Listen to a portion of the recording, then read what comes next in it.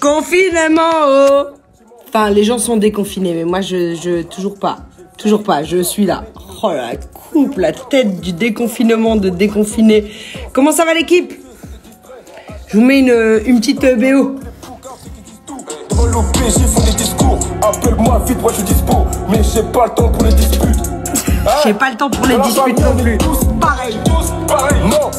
Je fais mon montage à moi, j'ai pas mon réalisateur, donc je suis obligée de faire mon truc à la maison. pareil. Tu cours plus vite que Usain Bolt en jean 10 pareil. Sauvage de la ville, s'en fout de ton avis. Et Vito, c'est le ton, car je suis pas ton ami. Ça bibi toute la nuit. À les ennuis. Par derrière, on se vestit. Sur moi, j'ai le. Hey Pour un tête à tête négro, tu parles chinois. Sache une chose. Est-ce que vous êtes là Il y a Kalash Krimi qui arrive. Vous avez vu le- les nouveaux euh, effets spéciaux de légendes urbaines M'arrive pas la cheville.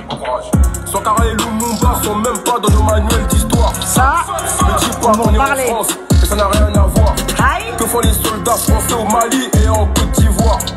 Miroir, miroir, miroir, miroir. Sombrer le miroir. Qui sont les vrais Qui sont les faux? J'ai des qualités qui sont des défauts. La concu. Faut s'enjailler, bien sûr, faut s'enjailler. On a même peur Oh, de Cyrina, coucou. On peut plus cautionner. Est-ce que vous entendez le son Je suis innocent comme un nouveau-né. Mon générique, il est trop fort. Mon générique... je fais mon... Je fais mon son à moi. Voilà. Mais je pense qu'il n'y a, qu'il n'y a rien de mieux que l'origine de la famille. Hein moi, je m'enjaille toute seule avec mon son, tout ça, avec Kalash Krimi. Mais je crois. Voilà Oui, oui, oui, oui, oui. C'est mieux quand c'est toi en vrai. Hein T'as vu, j'ai essayé de faire un petit montage. De toute façon, t'as entendu ou pas? Ouais, j'ai vu ça. Crimi, lourd ou pas Non, j'ai un ampli, il est incroyable.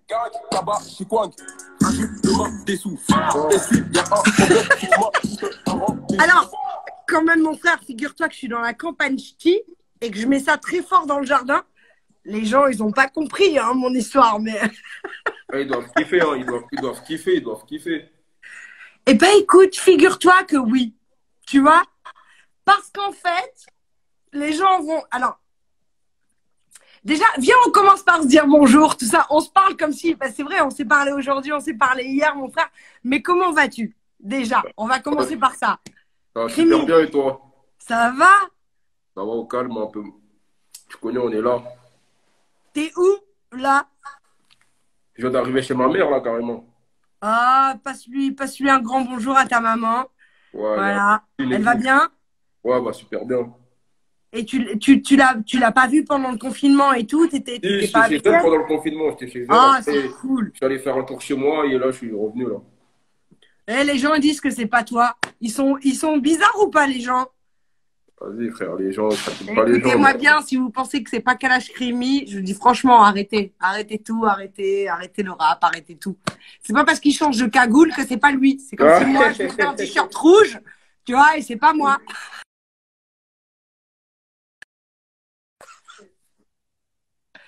Ah, donc t'étais chez ta maman, en fait, euh, en confinement?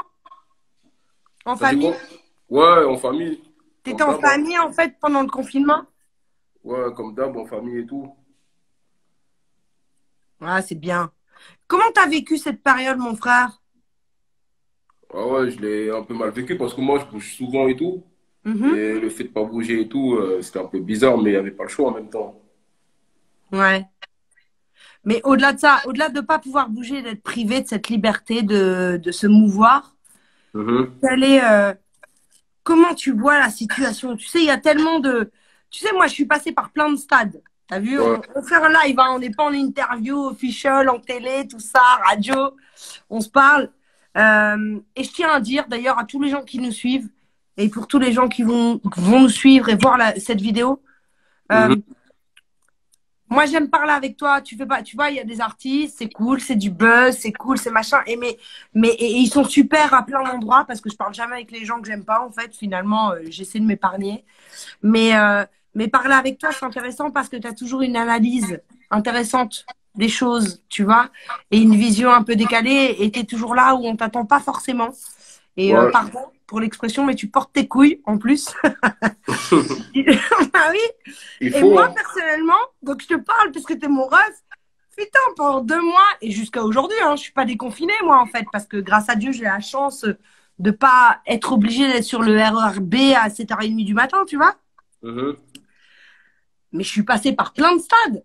Toutes les théories du complot, je les ai euh, analysées, scrutées, les discussions de bistrot, les trucs. le- Je suis passée par euh, 100 stades psychologiques différents. Toi, t'es passé par quel stade, Crimi? Aucun, moi. Aucun. Mais encéphalogramme, t'es mort en fait. Hein? Tu n'es pas vivant. Comment ça, aucun? T'as dit quoi? T'as analysé quand même un peu les choses. Comment t'as vécu les choses? Quand on t'a dit, on est confiné on- et pendant le confinement, comment tu l'as vécu ce truc-là? À la base, au début, euh, j'étais dégoûté un peu, tu vois. Ouais, normal. Mais Hmm? après, il n'y a pas le choix. hein. Après, je suis resté à la maison, je me suis occupé de ma daronne, tout ça. Ouais, avancé sur deux, trois trucs, deux, trois projets et tout. Sinon, Ouais. euh, au calme. Mais après, euh, sans plus, je te mens pas. c'est vrai? Ouais, Tu t'es pas plus. pris la tête plus que ça. Tu t'es dit, vas-y, c'est cool, tranquille. euh, Ça va faire un on peu de verra, repos, je te mens pas. pourra, quoi.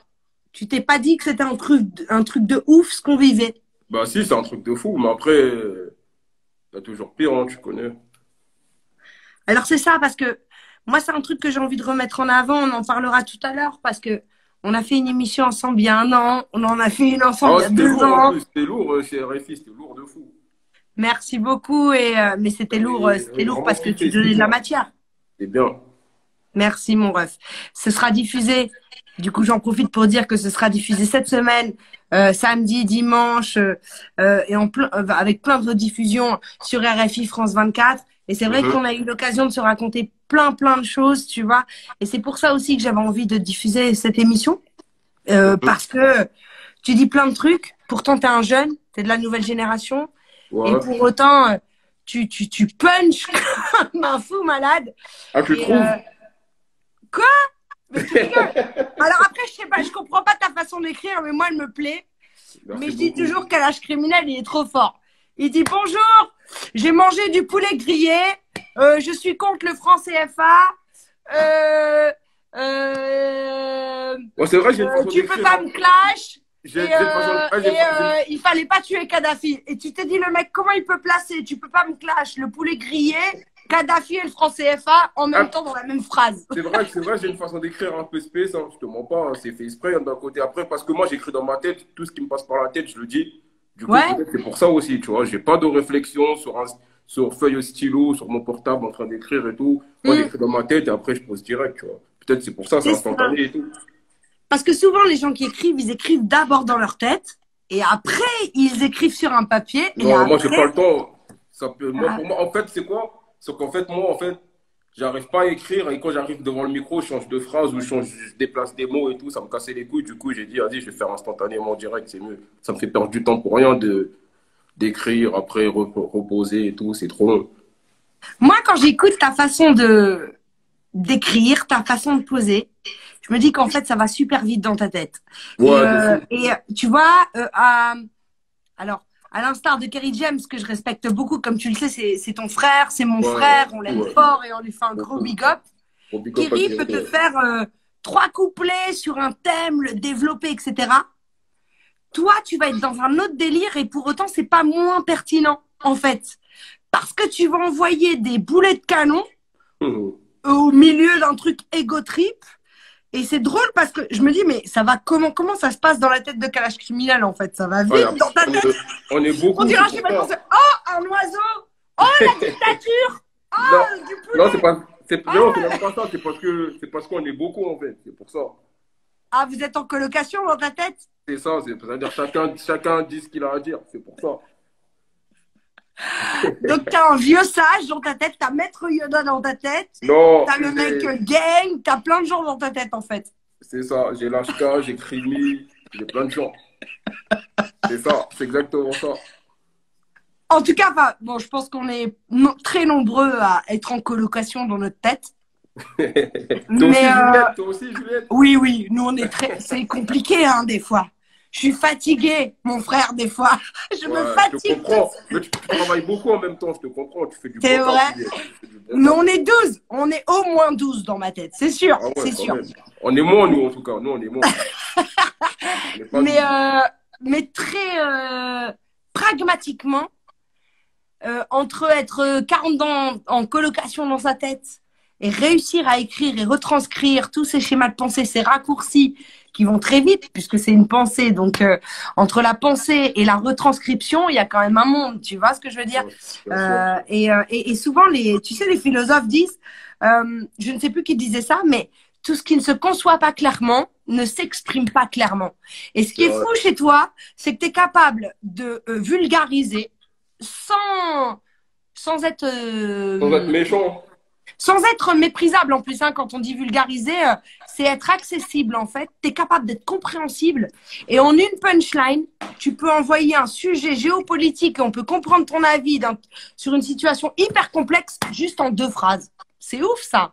C'est vrai, c'est vrai, t'as pas tort en plus. C'est exactement ça, t'as bien résumé euh, la situation.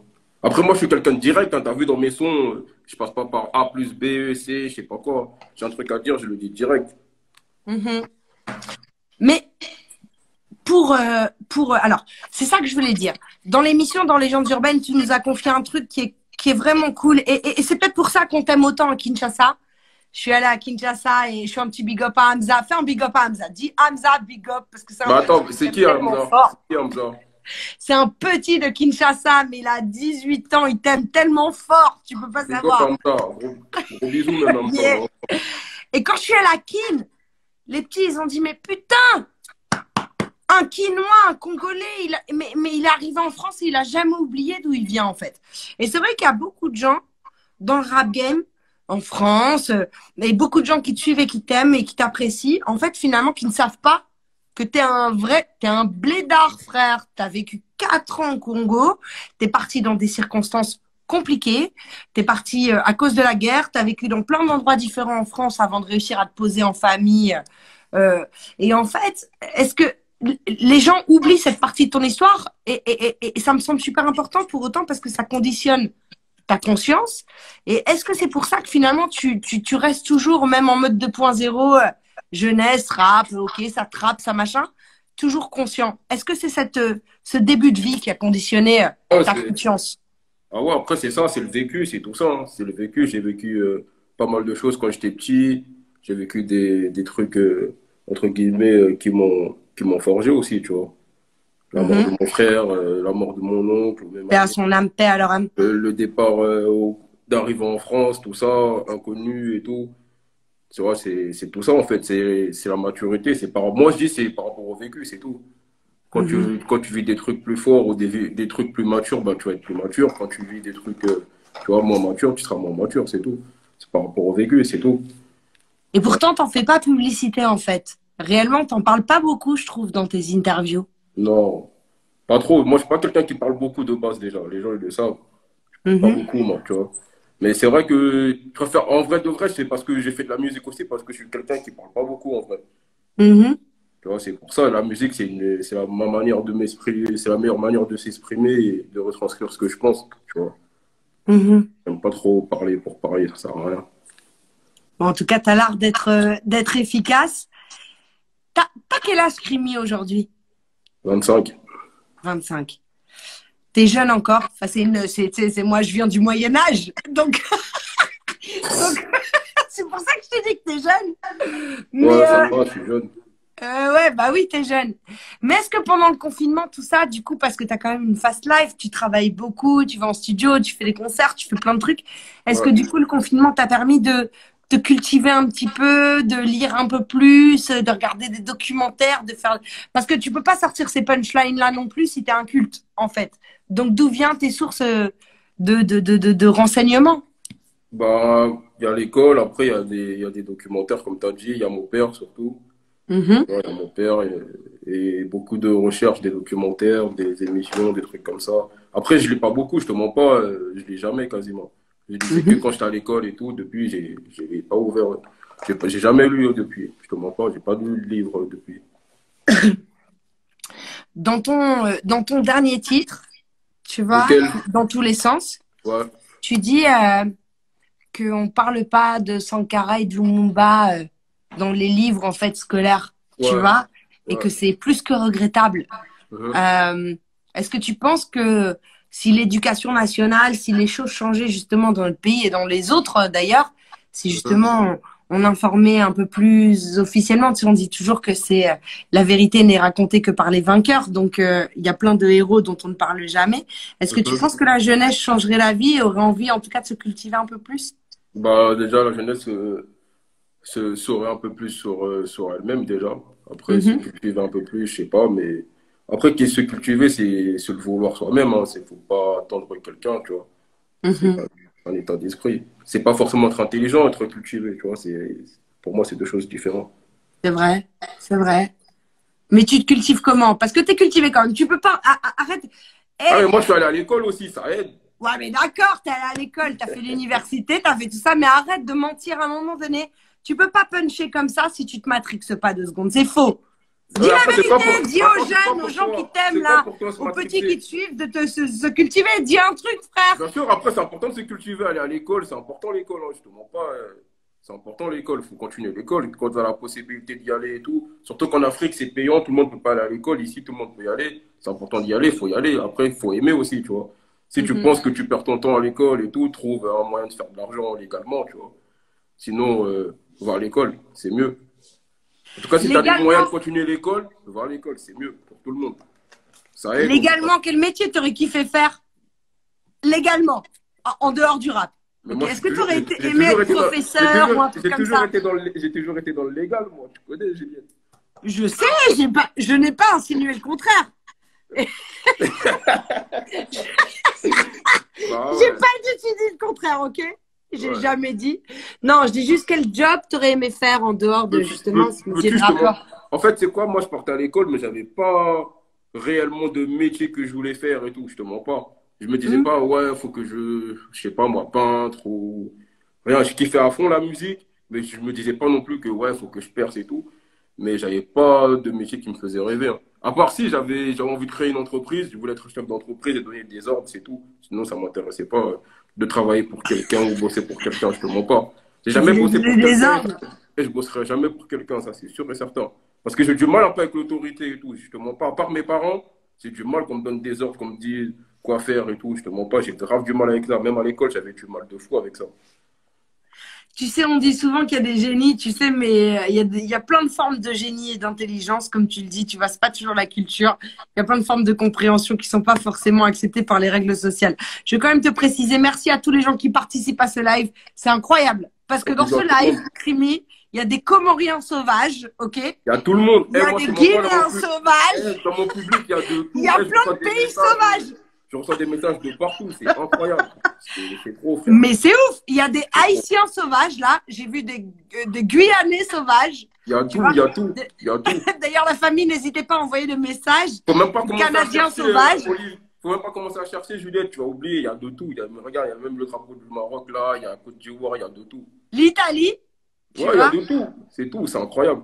Comment t'expliques ça L'Algérie sauvage, je viens de voir l'Algérie. Bah oui, mais l'Algérie sauvage, c'est un pléonasme. On Les, sait que vous êtes les des Algériens sauvages. c'est On vous aime, mais vous êtes des sauvages, les les Algériens. C'est mes gars et les Algériens, ça bouge pas. Mais ils sont trop forts. Je les aime aussi. Mais euh, comment tu vis ça? T'as 25 piges et en vrai, ça fait 3 ans. Ouais, t'as que je explosé. ouais. Vraiment? Ouais. Comment tu vis ce truc-là? Parce que c'est quand même un drôle de truc que euh, d'être euh, soutenu, supporté, connu dans autant de pays euh, dans le monde, quoi. Comment tu euh, comment tu vis ça humainement, vraiment, sincèrement? Ah, je te mens pas, ça me fait plaisir de fou. Hein. Mhm. Moi, je te mens pas, ça me touche énormément parce que tu connais les albinos et tout, ils sont souvent rejetés et tout. Les gens, ils calculent pas trop, ils sont souvent dans leur coin. Et moi, je reçois, je reçois autant d'amour, autant. Ça fait super plaisir, je te mens pas, je suis super content.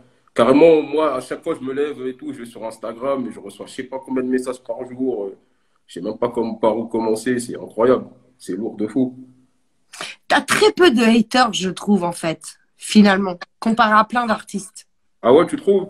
Ah ouais. Il y en a quand même. Hein. S'il y en a pas, euh, c'est bizarre, je te mens pas, il y en a fort. T'as toujours des gens qui sont en galère. Mais en fait, qui ont besoin d'amis ou d'attention? Mais globalement, tu sais, depuis le début où on refait des lives justement avec des artistes qu'on avait déjà reçus dans les Légendes urbaines, et eh ben dès le début, donc euh, il y a deux mois, Mhm. tout de suite et toutes les semaines, on a eu, on veut Kalash Krimi, on veut Kalash Krimi, on veut Kalash Krimi. À un moment donné, il y a euh, deux formes d'artistes populaires. Tu as ceux qui font danser les gens, qui font kiffer les gens, et puis Ouais, tu as ceux qui touchent le cœur des gens. Et là, on dirait que tu es le petit frère des gens ou que tu es le frère ou le grand frère, ça dépend de l'âge, mais on dirait que tu es dans leur cœur. Tu te rends compte de ça? Ouais, beaucoup. ouais. Parce qu'en en vrai de vrai, je fais pas de la musique, comme tu dis, qui fait danser les gens ou de la zumba comme Mhm. plein le font, tu vois. Mhm. C'est assez cru, c'est assez sombre et c'est assez direct et véridique. Et toucher autant de gens avec euh, cette musique-là, c'est incroyable. Même, euh, je te mens pas, il y a même des artistes comme moi, euh, même plus, qui vendent plus et tout, qui me disent, mais le parcours que tu as, c'est un truc de fou. Dis-toi, t'es calculé dans un pays comme la France, tu viens du Congo, tu as grandi à Sevran, tu as perdu tes frères, nanani, et tu es là, tu es suivi par autant de personnes. Frère, c'est, faut, faut que tu sois fier de ton parcours, c'est incroyable, frère. Bien sûr. Nous, nous, par exemple, nous, on serait à ta place, je pense pas on aurait fait la même carrière que toi, tu vois. Et des fois, je me rends compte quand on me dit ça, parce que c'est vrai que c'est. On veut toujours plus, mais ce que j'ai là, déjà, c'est incroyable, de fou. Faut pas se mentir. Tu vois. Comment tu l'expliques? Parce que tu fais pas de la zumba, clairement, comme tu le dis. Ouais, Ta musique, c'est pas de la zumba, mon frère.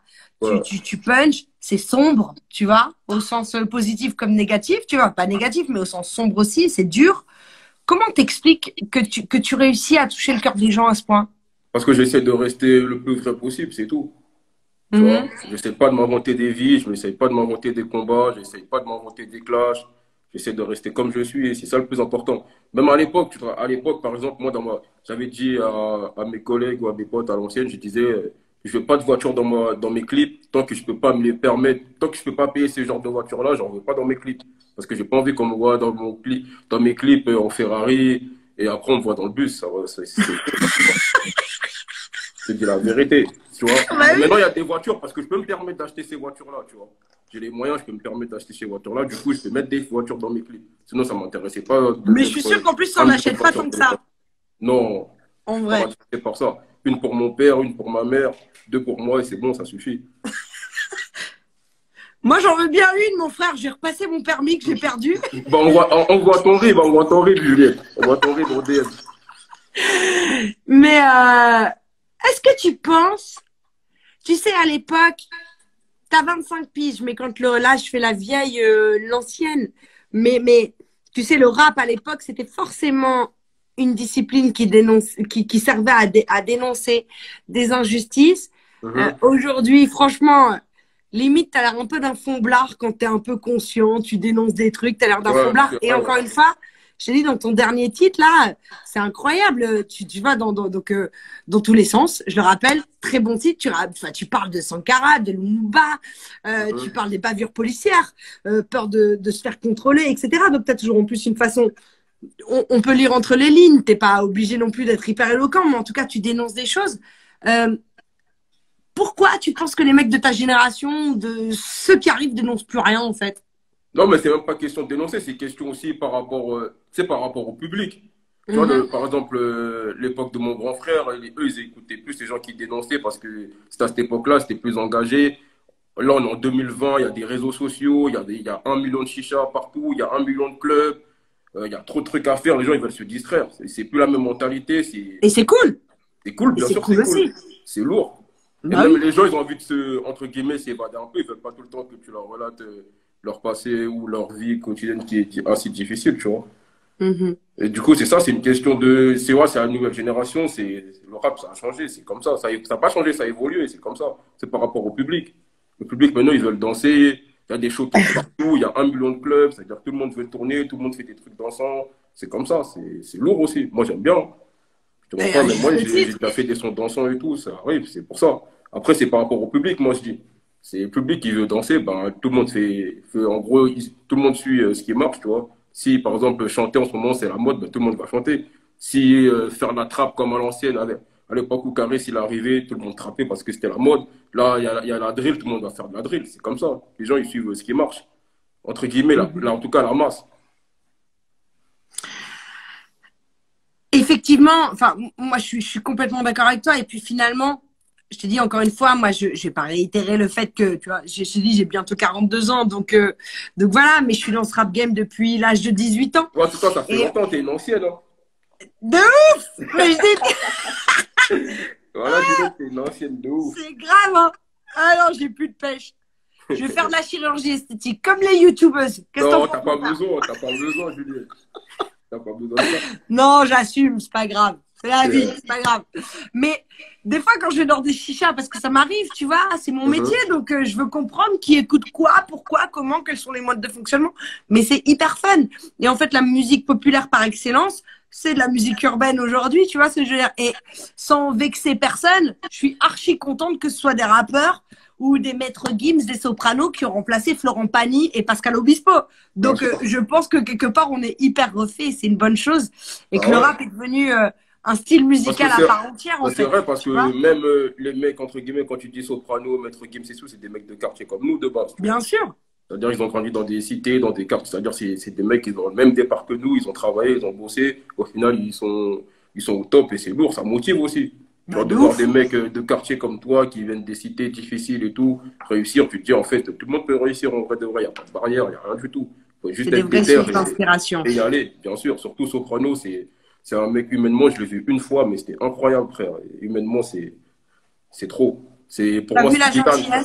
Ah, il est, c'est Zidane. Il m'a vu en calage criminel, tu vois bien. Oh, c'était trop. C'est Zidane euh, Soprano pour moi. C'est trop. Comment s'est passée votre, votre rencontre avec Soprano? C'était au, au Bercy de Black M, je crois. C'était il y a trois ans maintenant. Tu vois. Ouais. Il m'a vu au calage, j'espère que tu vas bien. Il m'a invité dans ses loges, on a parlé. Après, on a discuté et tout. Franchement, c'est un bon gars de fou. J'étais choqué carrément. Voilà, j'étais choqué. Soprano, franchement, respect, rien à dire. C'est incroyable. Enfin, moi, je le connais depuis très, très longtemps. Humainement, c'est tu... Et quand tu vois le niveau, parce que le niveau de Soprano, quoi, il remplit des stades. Enfin, c'est de la science-fiction, ah quand même. Je crois que ça a été le plus gros vendeur en 2019 et en 2018 de tickets concerts en France. Entre 900 000 et 1 million de tickets concerts vendus. Je sais pas si tu vois la dinguerie. Ah non, c'est incroyable, c'est une dinguerie. Et le mec, il est d'une gentillesse. Tu sais, je vais vous raconter une, une anecdote. Et je vais t'en raconter une, ça va te faire marrer. Ça a été l'un des plus grands moments de solitude de toute ma carrière. Carrément. On fait Légendes urbaines, donc à RFI France 24, avec Soprano. Sauf que tu vois, quand on fait une émission, tu es venu à l'émission, donc euh, tu as toujours euh, quelques personnes qui passent, tu vois ce que je veux dire, avec, mhm. avec leurs enfants. Mais c'est vite fait, il y a 4-5 personnes. C'est pas un studio qui est fait pour accueillir du public, tu vois. Et là, je suis pas prête. J'accueille Soprano, Soprano arrive et je me rends compte que dans le studio où on va enregistrer, mon frère, il y a 70 personnes, donc, dont 35 enfants. Parce qu'en fait, tout le monde a eu la même idée, en oubliant éventuellement de m'en parler, tu vois.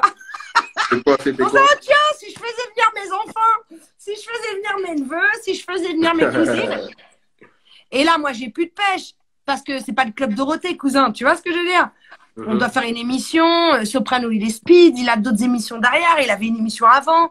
Tu vois, faut aller vite. Et d'un seul coup, on se retrouve dans un studio où il y a 40 gosses. Tu vois, on doit faire une émission. Et moi, j'ai l'impression de lui avoir fait un guet-apens, malheureusement, mais il me connaît suffisamment pour savoir que c'était pas prévu et que personne ne partait d'un mauvais sentiment. Mais tu vois, les gens l'aiment tellement qu'ils sont tous venus avec leurs enfants, euh, tu vois, normal, dans le plus grand des calmes. Et pour autant, malgré le speed, euh, l'émission après euh, qu'il avait à faire, etc. Tu sais qu'il a fait des photos avec tous les enfants. Il a été gentil avec tout le monde, alors qu'ils auraient pu prendre le seum comme jamais, quoi, tu vois.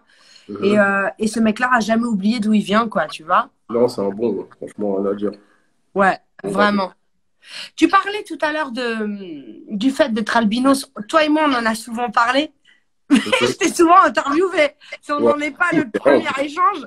Euh, effectivement, être albinos, il y a beaucoup de gens qui en parlent d'ailleurs euh, dans les commentaires. Tu avais dit que tu allais monter une association, une fondation, euh, que tu allais peut-être même te joindre à Salif Keita, qui a déjà monté une fondation. T'en es où là-dessus? T'as dit quoi J'ai pas entendu. Ah, pardon. Je parlais du fait que tu parlais de la difficulté d'être albinos et tu disais, moi, bon, mon parcours, il est fou en fait. Tu fais du rap gang, tu dénonces, c'est pas dansant, euh, tu es albinos, tu viens euh, du bled et, et, et d'un seul coup, tu as, ce parcours-là. Mais tu évoquais le fait d'être albinos. tu m'avais dit que tu voulais monter une fondation ou en tout cas une association ou, ou t'associer à d'autres fondations, celle, notamment celle de Salif Keita, pour, euh, pour euh, aider les albinos. T'en es où là-dessus? Ah bah c'est bon, c'est monté et tout. On a déjà fait, Ouais. commencé en Côte d'Ivoire, on a fait des dons et tout. Et là, on va faire une tournée africaine où on, on ira faire des dons aussi. hein. On est en train de bosser dessus. Et tu connais, après, il y a toutes les associations, il y a pas mal d'associa- d'associations d'al- d'albinos aussi déjà qui veulent Mhm. qu'on se réunisse et tout pour, pour, pour faire des choses et tout. Après, on est en train d'étudier, on est en train de voir. Mais ouais, c'est déjà fait. Ça avance bien. Crimi, je sais que je t'ai souvent posé cette question, ça peut paraître redondant de toi à moi, mais c'est toujours des publics différents, des personnes différentes. Et donc, c'est important. Qu'est-ce que tu aurais à dire aux gens sur les albinos? Parce qu'on est encore au Moyen-Âge, euh, tu vois, encore une fois, dans les Ouais, mentalités, ça dépend dans où. certains hein. endroits. Ça dépend où- Ouais, ça dépend où en Afrique. Ça Oui. dépend où en Afrique, ouais. Bah, bah, c'est des êtres humains comme tout le monde. Hein. C'est des êtres humains comme tout le monde. Après, j'en ai pas mal parlé sur l'album qui va arriver et tout. C'est mieux, c'est plus détaillé, plus expli- mieux expliqué, tu vois. Mhm. Et faut attendre l'album. Ah Qui nous fait un suspense. T'as dédié Non, un titre à ce sujet sur l'album? Ouais, j'en ai même plein. Après, faut choisir le bon. Non, mais attends. Parce que toi, tu es capable déjà. de dédier 10 titres parce que tu as fait 15 punchlines punchline dans, dans, 15, dans 10 titres. Sujet.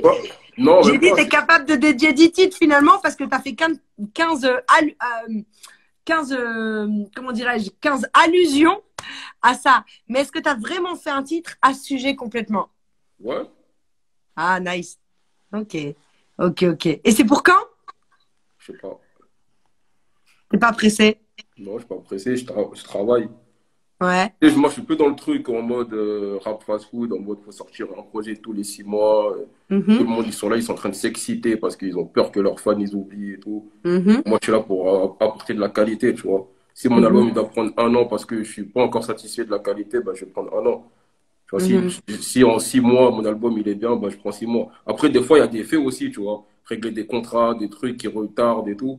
Mais nous, là, c'était plutôt ça, tu vois. C'était plutôt comme on a changé euh, de partenaire avec qui on bosse et tout, sa sonorité. On bosse avec Billy et maintenant, il fallait régler tout ça, négocier le nouveau contrat, nanani. C'est pour ça qu'à- ça a un peu retardé l'album, tu vois. Mais à la base, l'album, il, il était prêt, il devait sortir le 6 mars. Après, tu connais, on a eu du retard par rapport au, par rapport à tout ce qui est contrat et tout. Bien sûr. Du coup, ça s'est réglé. Après, euh, après, tu connais, il y a le corona et tout. Après, tu vois, c'était mort. Tu suis, tu parles du corona. Tu, revenons rapidement là-dessus. Tu suis un peu la situation sur le continent là-dessus. Euh, sur le Covid, justement, c'est très bizarre en fait. Hein, tu vois, on- l'OMS a averti que ça allait être une catastrophe. Finalement, on a l'impression qu'il n'y a pas tant de cas que ça. En même temps, le confinement, c'est compliqué. Euh, tu vois, à Kinshasa, comment tu demandes aux gens de, à Kinshasa, à Babi, à Yaoundé, euh, tu vois, à Conakry ou à Dakar, comment tu demandes aux gens de se confiner alors qu'ils savent pas comment euh, ils vont manger le soir? Ouais, c'est ça. En Afrique, c'est dur de se confiner parce que, entre guillemets, en, Afrique, c'est à débrouillardise. Il faut sortir dehors pour aller chercher un truc à manger et tout ça. Et quand tu restes confiné, ben, tu fais pas rentrer d'argent, tu fais pas rentrer de. Tu vois, c'est super dur, tu vois. Et encore, Dieu merci encore que l'Afrique, c'est pas le continent où, tu vois, c'est le plus touché par le corona, même s'il y a des cas et tout. Mais c'est vrai qu'en Afrique, c'est super dur d'être confiné. Je me rappelle au Congo, ils ont fait deux semaines. Les gens, c'était trop pour eux. Ils ont dit, vas-y, c'est bon, on fait. Bien sûr. C'est super dur, je te mens pas. Bien sûr que c'est hyper dur. Un big up, moi j'en profite pour faire un big up à Fali Poupa qui a fait un truc super. Il a ouvert un entrepôt où tout le monde pouvait déposer des sacs de riz, des ignames, etc. pour, euh, pour les gens qui ont, qui, ont, qui ont besoin de manger. Il l'a fait d'une façon très altruiste et, euh, et vraiment sans intérêt. Euh, il n'était pas là pour faire du bénéfice. Donc euh, big up à. Fali. Euh, comment tu vois le déconfinement là en ce moment? T'es déconfiné? Parce que moi je suis pas déconfiné, je te le dis tout de suite, j'attends. Pas, encore tout à l'heure, parce que là, il y a, il y a un de mes frérots qui est sorti du star, là, je dois aller le voir. Mais sinon, Ouais. je suis pas encore, euh, je suis pas encore sorti depuis le déconfinement. Après, j'ai fait deux trois, deux, trois studios et tout, Mhm. mais euh, sortir en mode sortir, euh, non, pas encore. Tu vois, je fais des studios maison, studios maison. Et là, tout à l'heure, je vais aller me poser au quartier vite fait, pour voir des poteaux et tout. Mais sinon, non. Je, tu connais, le déconfinement, c'est trop tôt encore. Oh, tu sais quoi? Il y a notre set gecko international qui vient d'envoyer des flammes et un coucou. Salut Marlou Grosse force à cette déco. J'ai vu Fianso aussi, grosse force à mon frérot. Ah, il y a Fianso qui est là aussi. Fianso, mon frère Même pas, voilà, c'est Il y a des équipes qui sont connectées. Ça fait plaisir. Crimi, avant de se quitter, n'hésitez pas, messieurs, dames, à poser des questions, parce que là, je retire deux, trois questions, parce que c'est dur de lire euh, déjà toutes les questions.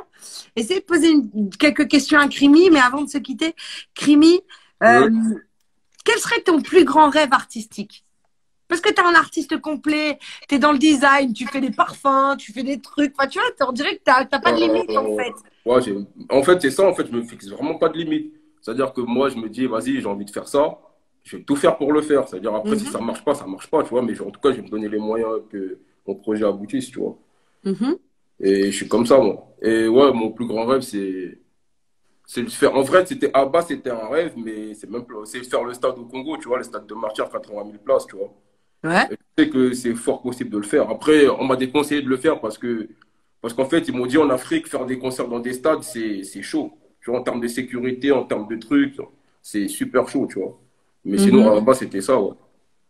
Alors moi, je vais te dire un truc. Pour être allé, enfin tu me connais, je vais en Afrique probablement une fois par mois, voire deux fois. Ouais, toi, tu vas, tu tout le temps, quoi. Tu connais? Quand t'es en Afrique.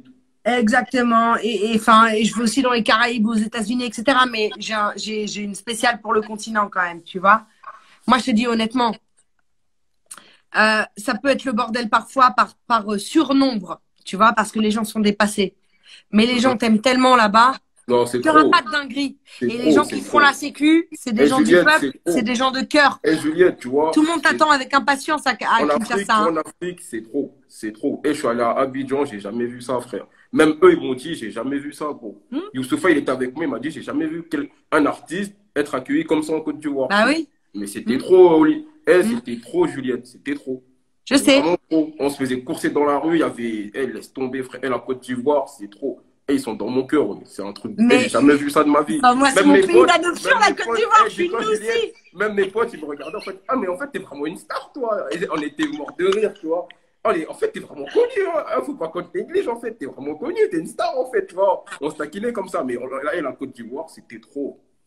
Tu sais ce qui est formidable avec l'Afrique, c'était ma première en Afrique. Hein. C'était ma première en Afrique. Crimi, ce qui est formidable avec l'Afrique, c'est que si les gens ils ont envie de te jeter des pierres, mon frère, ils vont le faire, il n'y a aucun problème. Ouais, de fou. Mais s'ils de t'aiment, fou, de fou. tu vois, ils vont pas la jouer parisien ou euh, new-yorkais ou anglais, genre je bouge la tête pour te pour dire je Non, kiffe. eux, eux, ils Les Africains, ils te disent qu'ils t'aiment, c'est ils t'aiment et ils sont C'est avec trop. toi Eh, Juliette, et c'est sincère. C'est trop, Et c'est c'est ça trop. toute la C'est différence. sincère.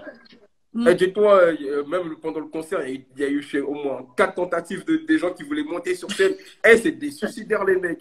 Et il y avait sorte de trou, façon, ils sautaient les trucs. Pour... Eh, c'était trop. Oh. T'étais où? T'étais au Palais de la Culture Ouais, on Abidjan parlait de la culture, ouais. Ah oui.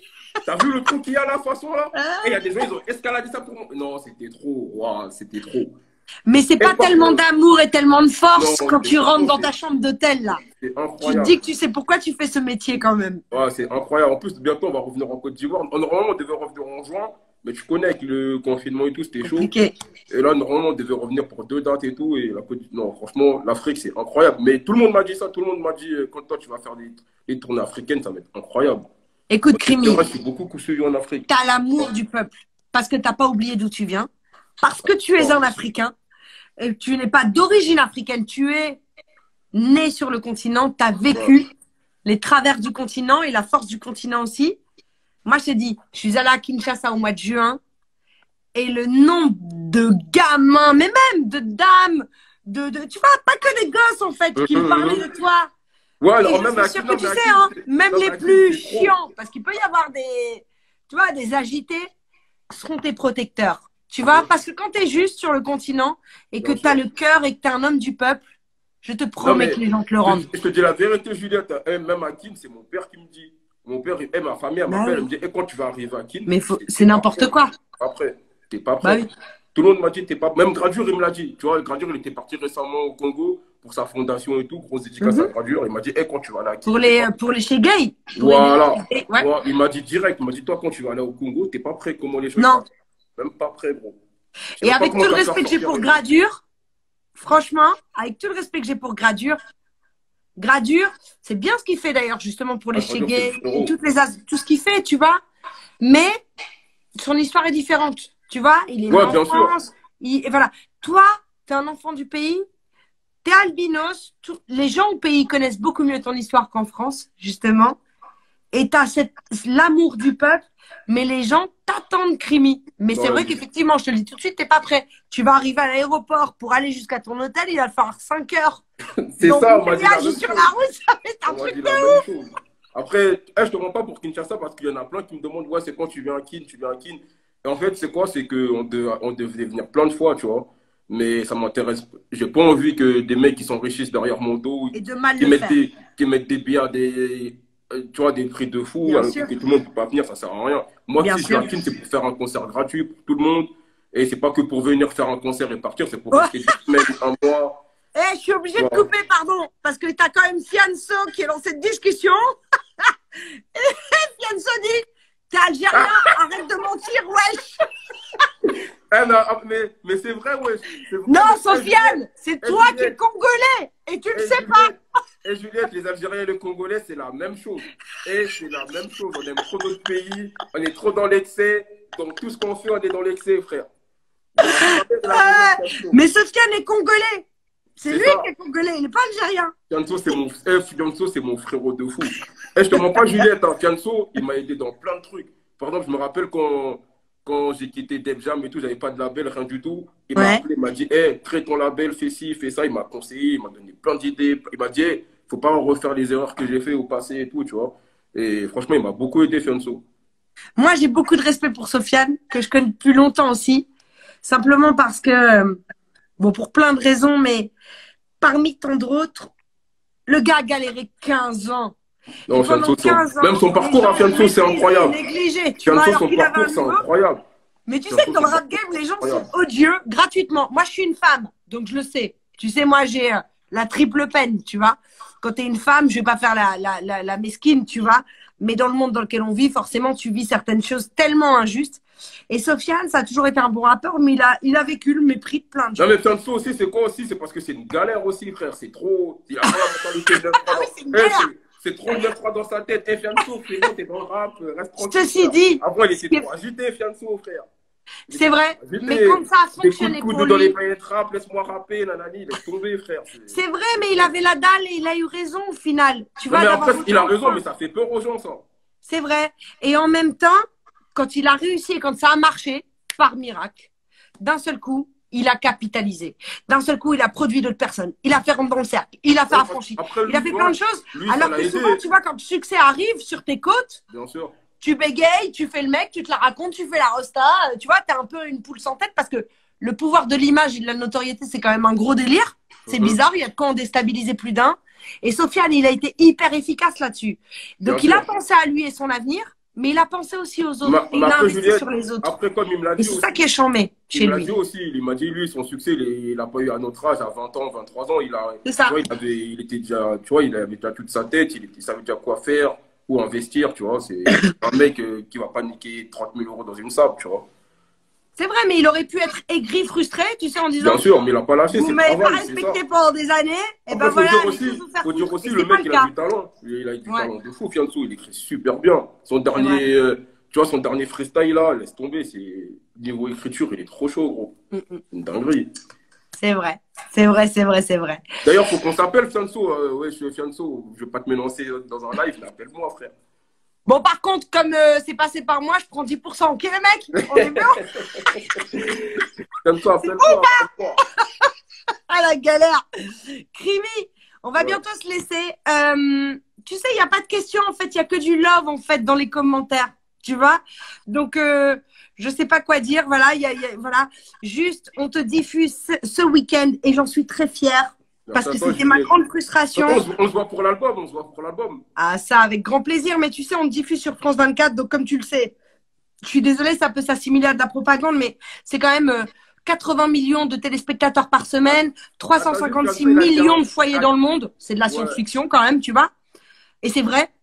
Euh, c'est des vrais chiffres, c'est pas un truc de mytho. On est à la fois dans le bendo comme dans les cabinets ministériels, tu vois. Ce qui me fait vraiment plaisir, c'est qu'en fait, euh, entre deux journaux télévisés samedi, les gens ils vont voir un mec cagoulé, ils vont se dire, on a été piraté ou quoi? Comment ça se passe Au calme, au calme. Mais surtout, ils vont entendre ce que tu as à dire et c'est ça qui est formidable. C'est ça, ouais. Est-ce que tu aurais un mot à, à- à dire sur l'émission qu'on a faite ensemble qui sera remontée et diffusée ce week-end? Bah, déjà, merci à toi, Juliette, pour tout. On se connaît depuis longtemps, ça fait un moment on se connaît maintenant. Ouais, vrai. Ouais, merci à toi et regardez bien l'émission, hein. les shooters sont là, les shooters. Et- Comme Chanson a écrit, shooter gang, il nous connaît, les shooters, on est là.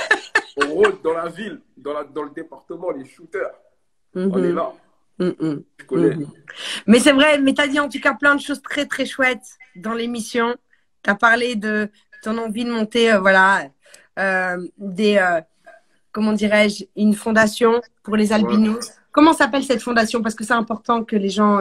Là, là, là, on va changer de nom. À la base, c'était Albinos Émotion, peut-être, je pense, mais on, on va peut-être changer de nom, on va voir.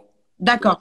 Si on te suit sur les réseaux, de toute façon, on a les informations. Bah ouais, bah, d'ailleurs, j'ai même pas encore communiqué dessus, tu vois. Je fais, pour l'instant, je fais que des dons, Mhm. même pas carrément. Mais euh, Ouais. on va vraiment, vraiment bosser dessus, tu vois. On va faire un vrai taf, Bah dis-nous, parce qu'il y a beaucoup de gens, je pense, qui euh, sont sensibles à la cause bien sûr. et qui aimeraient t'aider, donc euh, Bien n'hésite sûr, pas, il y en a plein, je pas. Ça, c'est vrai, ça, Juliette, par contre, il y a beaucoup de footballeurs, tu vois, avec qui je suis. Ils sont prêts à mettre des trucs et tout. J'ai dit, pour l'instant, calmez. Je vous donne le go après. Mhm. Mais il y a beaucoup de gens, ouais, c'est vrai, qui veulent m'aider, qui veulent investir. Et c'est, tu vois, c'est bien, c'est lourd. Ouais, mais euh, c'est plus que normal en fait. C'est juste pas normal de traiter euh, un être humain de cette façon. Et, même pas seulement les êtres humains, parce que tu disais que tu avais envie aussi de de- d'aider les animaux. Tu vois? Il me semble, si mes souvenirs sont Bien bons. c'est important. Bien Avec sûr, tout ce qui se passe avec les animaux et tout, c'est important. Tu Mhm. connais la fosse aux lions. Les lions, ils sont Bien là. sûr. Crimi, le message universel que tu voudrais passer, tu sais, tu as vu, hein, il y a des messages du monde entier, de plein, plein, plein de gens. De... Je peux même pas dire, je vois un défilé de drapeaux. je Non, c'est toujours comme ça, Juliette. Et Et je sais, mais c'est ça, même formidable. dans un son, je l'ai dit. euh, euh, j'ai dit quoi dans un son J'ai dit, euh, je suis albin, euh, j'ai la blanche, mais je suis renois. Comment veux-tu que je sois raciste? C'est, Mhm. tu vois, Et la communauté, entre guillemets, mon public, c'est ça. Il y a de tout. Des Renois, des Chinois, des rebeux, de tout. C'est incroyable. Mais c'est ça être universel. Donc, quel serait le message universel que tu aurais à passer? Paix et amour sur tout le monde. Mm. Et prenez soin de vous, de vos familles, de vos proches et faites de l'argent, c'est important. Mhm. Ok. Faites de l'argent aussi, ouais, c'est vrai. C'est vrai que ça sert, ça aide. Au lieu de porter l'œil, faites de l'argent, c'est mieux. Parce que après, vous allez parler des fortunes des gens et ça sert à rien. Parlez de vous, c'est mieux. Faites de l'argent, c'est plus important. Complètement. Complètement. Bah, Crimi, merci beaucoup. On se revoit de toute façon dans les Légendes urbaines. Merci à toi, Juliette. On se, voit- on se revoit avec les shooters. Je Ah, comme les jamais. Qui sait? Toi, tu sais pas. Hein. Si tu vas à Kinshasa, je crois que je vais venir avec toi. Je te le dis tout de suite. Ah, hein. mais- mais Légendes urbaines.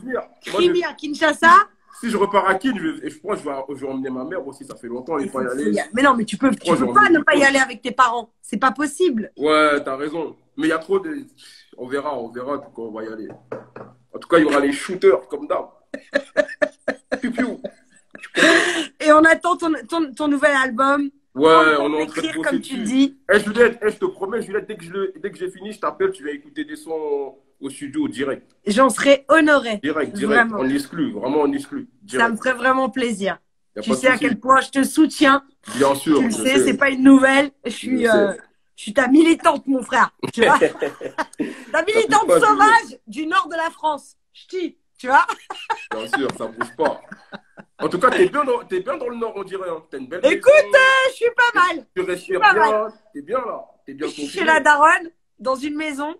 On se calme. Et euh, comme on tourne toujours pas, là, je sais pas, peut-être dans 15 jours, dans 3 semaines, pour le moment, je reste là. Et tu vois, à toute situation négative, il y a du positif. J'en profite pour mettre en avant des gens que j'aime, dont je suis Bien sûr. très fière d'avoir, euh, euh, à- à- dont je suis très fière d'avoir interviewé et avec qui, euh, voilà.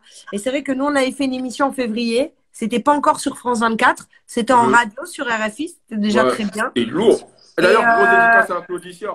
Ouais, gros big up à mon grand frère Claudie. Et effectivement, là maintenant, l'émission va être sur France 24 et je suis super contente parce que tu vois, comme quoi, cette émission, elle aurait jamais pu être diffusée. Et comme on n'est jamais vraiment en mode promo, nous, on raconte euh, notre vie, on parle des choses de tous les jours, des parcours.